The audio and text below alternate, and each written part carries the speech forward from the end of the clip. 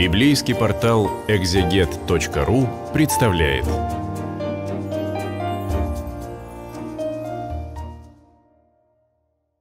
Библейский портал экзегет.ру представляет цикл бесед по книге «Бытия». Сегодня мы с вами читаем 46 главу. «И отправился Израиль со всем, что у него было, и пришел в Версавию, принес жертвы Богу отца своего Исаака. И сказал Бог Израилю в видении ночном, «Иаков, Иаков». Он сказал, «Вот я». Бог сказал, «Я Бог, Бог отца твоего. Не бойся идти в Египет, ибо там я произведу от тебя народ великий. Я пойду с тобою в Египет, и я выведу тебя обратно. Иосиф своей рукою закроет глаза твои». Израиль — это имя также Иакова, и мы знаем, что в древности человек мог носить несколько имен, которые имели какое-то значение, они просто его отличали от других людей, они что-то обозначали. Вот Израиль — это боровшийся с Богом, и это имя собственное конкретного человека, но это также имя, которое переходит на весь народ. То есть Израиль — это Израиль и его потомки — и он обращается к Богу, приносит ему жертвы, и Бог ободряет его идти в Египет. «Я пойду с тобой в Египет, я выведу тебя обратно». И вот это «выведу тебя обратно», оно относится не лично к Иакову, Иаков будет уже давно мертв э, к тому времени, это относится к его потомку. То есть э, жизнь Израиля, жизнь такой ключевой личности в истории Э, истории спасения, как э, Иаков, она продолжается в Израиле, она продолжается во всем народе. И народ является наследником тех обетований, которые даны Аврааму, Исааку и Иакову.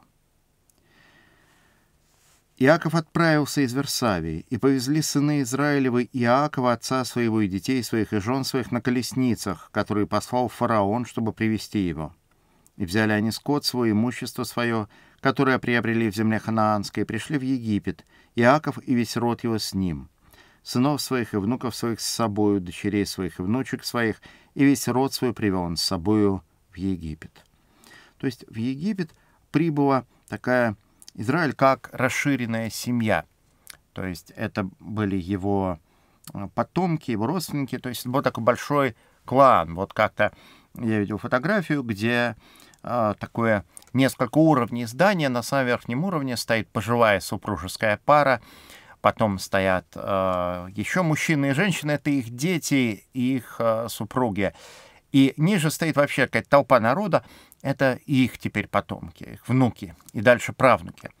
И вот э, в Египет приходят потомки Иакова, приходит Иаков как такой патриарх, глава семейства, приходят потомки Иакова, но не только люди, которые с ним связаны кровно, но также слуги и э, рабы, люди, которые в разное время присоединились к дому Иакова и стали поклоняться Богу Иакова.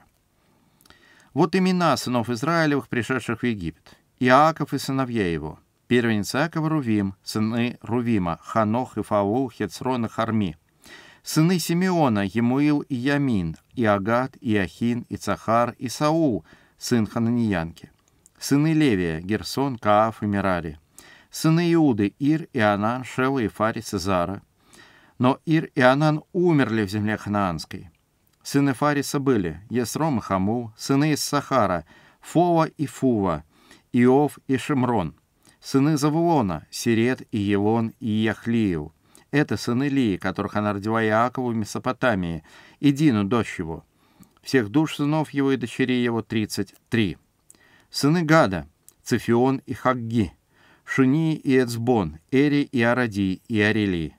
Сыны Асира, Имна и Ишва, и Ишви, и Брия, и Сирах, сестра их. Сыны Брии, Хивер и Мохиил, это сыны Зелфа, которую Лаван дал Лии, дочери своей. Она родила их Иакову, 16 душ.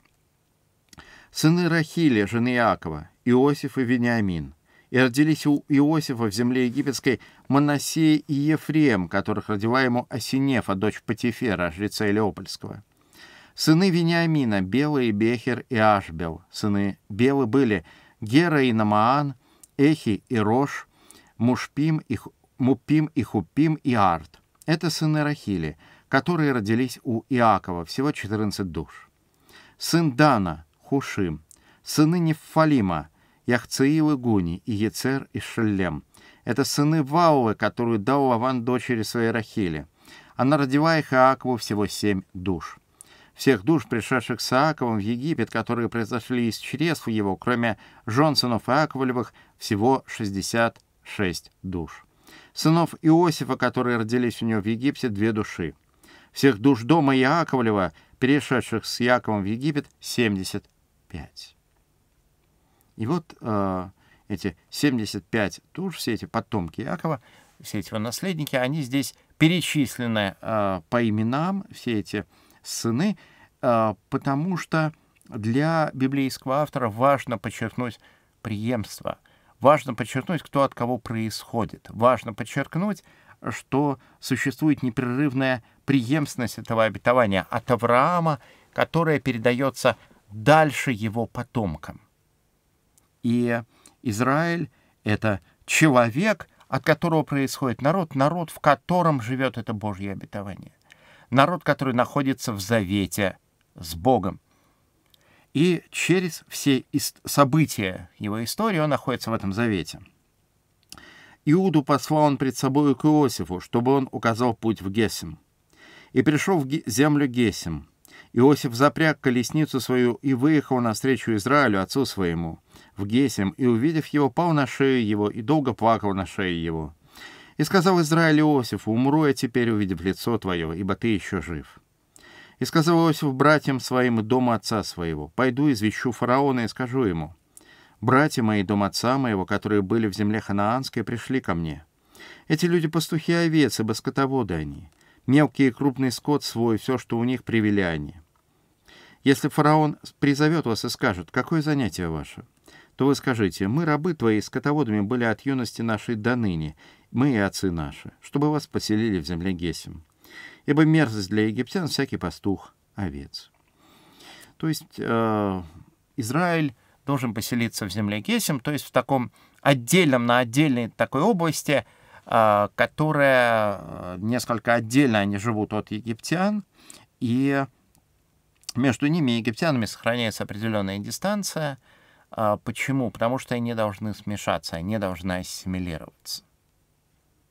Израиль постоянно оказывается перед перспективой ассимиляции. Он постоянно живет среди других народов. И а, обычный процесс, который происходит в любой, в общем-то, ситуации с любыми народами, происходит обычная ассимиляция, когда люди прибывают в какую-то другую страну, они, естественно, перенимают язык и обычаи жителей этой земли, и они растворяются, они ассимилируются, их больше нет. Их никто не истреблял, никто не резал, но они просто растворились через несколько поколений, их уже нету.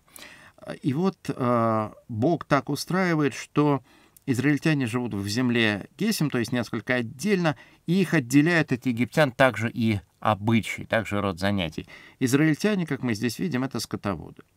И э, египтяне смотрят на скотоводов косо. И вот поэтому они живут несколько раздельно, они не смешиваются. Мы с вами прочитали 46-ю главу книги «Бытия». Мы читаем Писание в рамках библейского портала «Экзегет.ру».